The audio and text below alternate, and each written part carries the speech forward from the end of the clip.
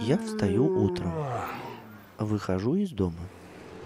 В асфальте открытый люк. Я его вижу и падаю туда. На следующий день я выхожу из дома. Забываю, что в асфальте открытый люк и снова туда падаю. На третий день я выхожу из дома и пытаюсь вспомнить, что в асфальте открытый люк. Однако, вспоминая об этом, я не замечаю колодца и падаю. На четвертый день я выхожу из дома.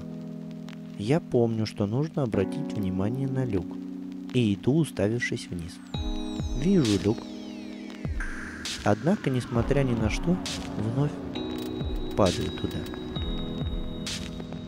На пятый день о, вижу люк.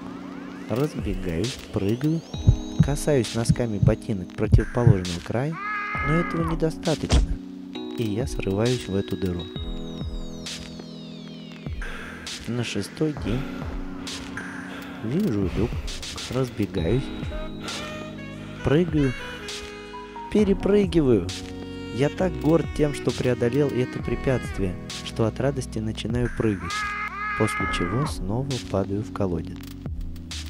На седьмой день, а именно сегодня, я понимаю, что удобнее идти по противоположному тротуару.